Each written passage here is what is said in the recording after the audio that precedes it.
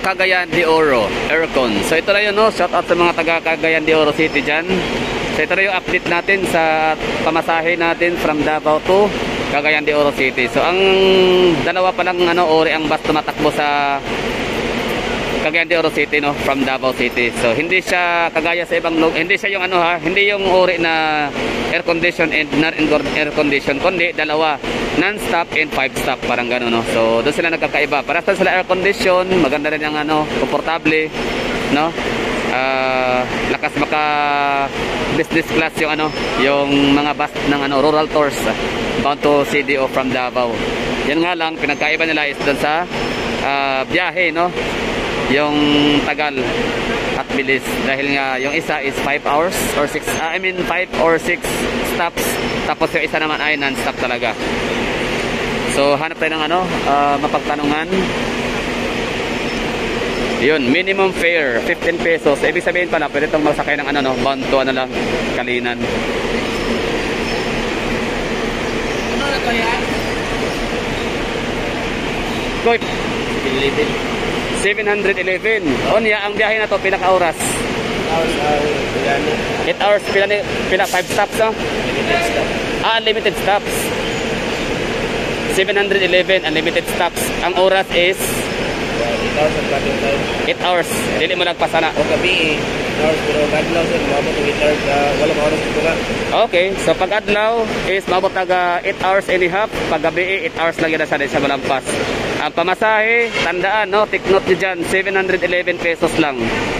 Ang first trip, Davao to CDO. 4 hours ang biyahe sir. Ayun, very good naman. And island stop. Mm. Sige sir, unsa atong ano, pwede to ma-mention ang mga hunungan nato diri kay namo gyud sa pangutana kung unsay mga mahunungan from Davao. Ah, Kalinan, Hunong. Pila Kalinan, gikan diri ah.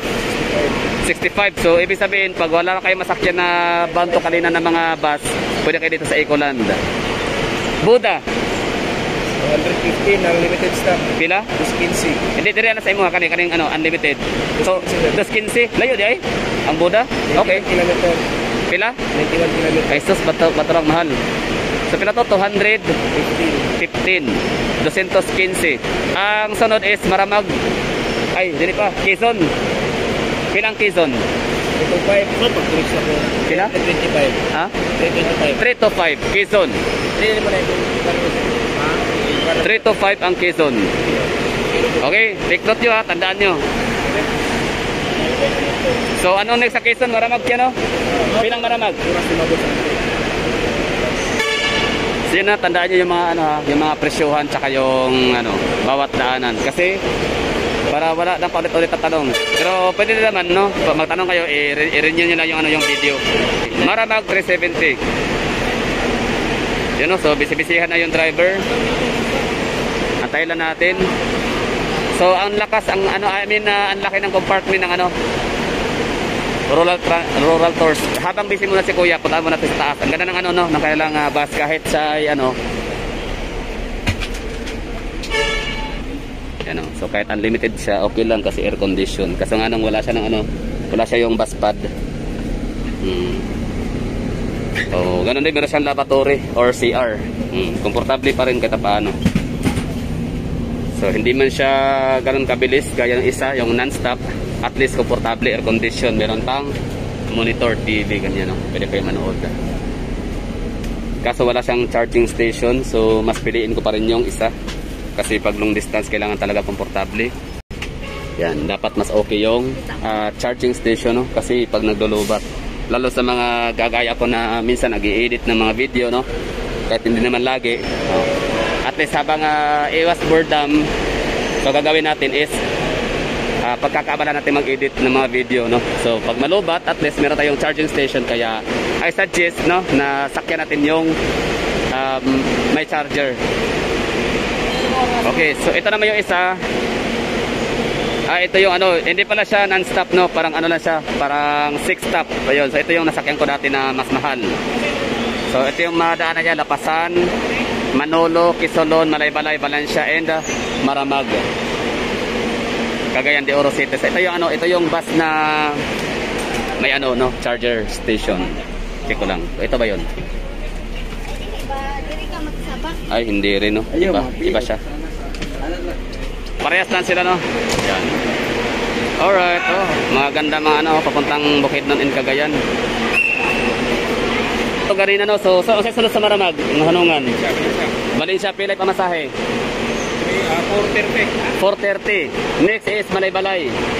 Pila? 490. 490. Sunod sa Malaybalay, Ah, Sulon. Isolon, pilay pamasahe. 530. Oh, timanin nyo ha. Dinasig pangutana. Sige, sunod.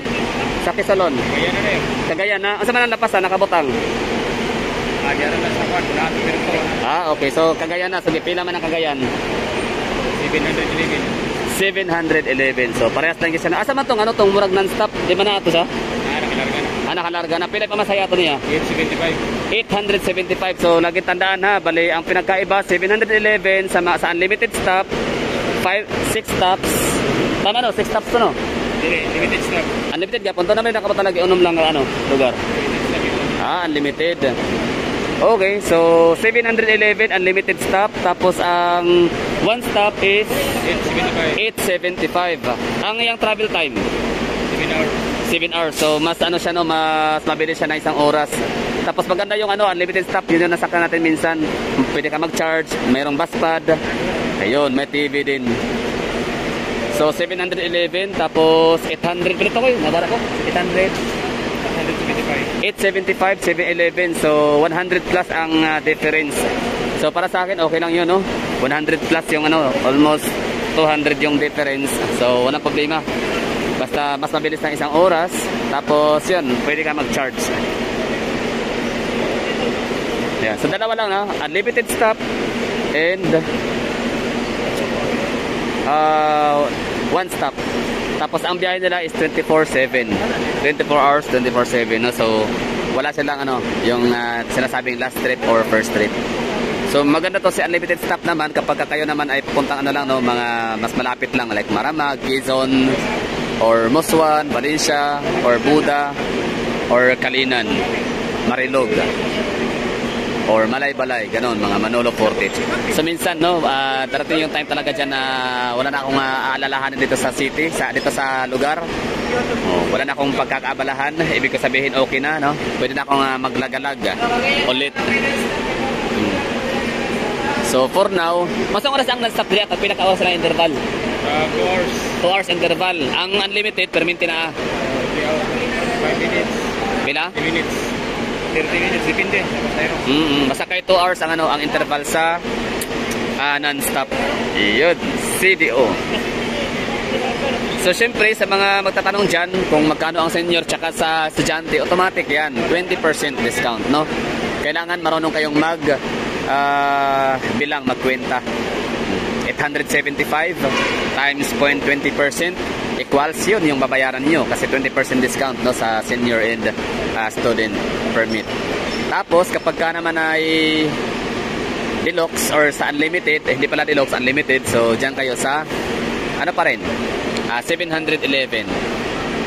711, 811, so 100, magkano ba ano nun? Nasa mga 150 plus, no? Yung difference. Siguro, okay na rin, no? Mas ano, mas malaki yung gusto magtipid. Kung hindi naman ang nagmamadali talaga, tsaka natutulog lang din naman kapag ka na biyahe. So, pwede na kayo mag-unlimited. Pero ako kasi, hindi ako natutulog pag nagbabiyahe. So, um, kinakalikot, kinakalikot ko yung aking cellphone. Ayan na, oh, non-stop. Ayan, Cagayan de Oro City. Yeah, wala ba yan, o rival ang ano? Wala ka rival ang rural tours? Capacity, oh. Wala lang ang company. Wala. Wala no, so solo lang niya. Bachelor yapon, di ba? Mm. So yun lang no, so sana na bigyan ko kayo ng ano, update. 711, lagi kong tandaan yun. 711 unlimited. Bound to CDO.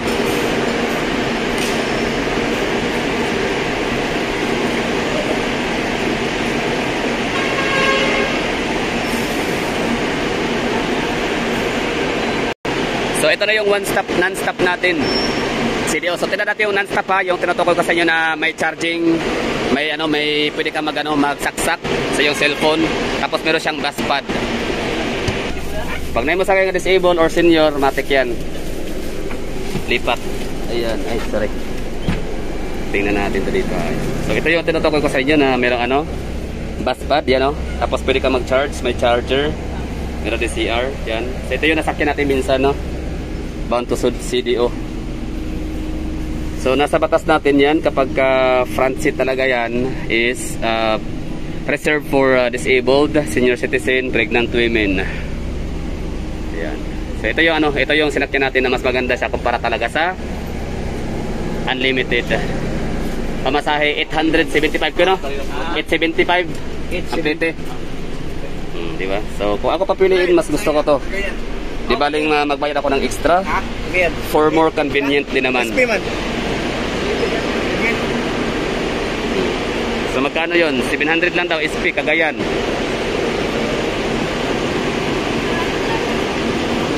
It's 75. Kwentado ko, nakaikalkyo dra. Nakaikalkyo. Oh. Sige, kwenta ha. SP, SP, senior citizen, PWD, automatic yan, 20%. Kaya minsan, di na tayo magtatanong. Alam na natin yan, 20%. Calculator. Yan. Para, sige, 875. Mag cellphone. Yan, no? 875. Ayan, times 0.20. Sige, equals. O, yun ang ma-discount mo. So, tama ang sabi niya, 700. Di ba? Kasi ang pamasahe, mahagala is 875. Dahil uh, senior citizen, PWD, at saka estudyante, matik yan, 20%. So, 175 ang discount niya. So, 700 na lang babayaran. Okay. Okay, so minsan, kailangan matuto tayo mag-kwenta ng sarili natin. Okay, ano po? Kasi may mga conductor din minsan na iba ang sinasabi, di ba?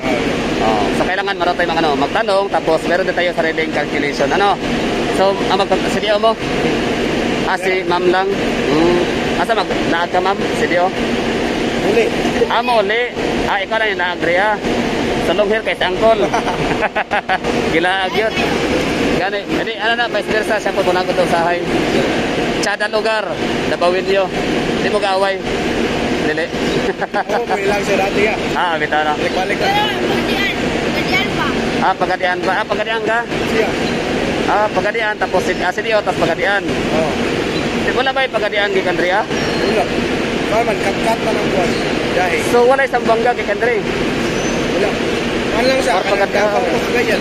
Abot ka. Kagayan to sa buwangga o kagayan to sa kagayan. Ah, okay. So from kag CDO to ano, pagadian pinaka oras ang biyahe. 8 hours. Layo layo gid no. Magreplano na lang ka. Pwede. Ha? Oo, wala. Light, light. Naaman. Dapat pagkadian pa. Ah, sambong. Di ba ang sambong kag ano pagadian doldra? Layo layo dai gyapon. Ah, okay. Ah, sige amping sa biyahe mama. Ay, kuya. So shout out to sila Mahagala from uh, Pagadian, bound to CDO, tapos si Kuya taga Davao, ayun. So yun lang. Ha? So yun ano, sana nabigyan ko kayo ng update dito. So ako din sa sarili ko rin, nabigyan ko rin update sa sarili ko na yun pala yung pamasahe. 875, tapos 711 naman kapag ka unlimited. Sige. Yun lang. So next natin puntahan ay ang ah, Tacloban. Yan, maganda to Tacloban tsaka Tandag, no? So alamin natin to kung magkano naman ang pamasahe nila. So yun lang siguro no. So at least ngayon na pagbabalik ko ng ano kasi may balak ako pumunta ng Cebu tapos magbabaylan ako. Eh kung consider ko yan no. Kasi from Davao bababa ako ng city oh, I mean Bukidnon, Maramag, Buda, Valencia, bababa ako ng Quezon, bababa ako ng ano ba, Malay-Balay, gano'n no, mga Manolo. Kasi nung ako umuwi from CDO pro- papuntang Davao, nakita ko yung lugar ang ganda no. Marami mga magandang lugar ang Bukidnon, mga munisipyo, mga terminal na parang uh, na nagkaka-interest ako na mabaan at i-vlog. So yan lang na for to for to this video no. So um, CDO unlimited and uh, one stop. Okay, bye-bye.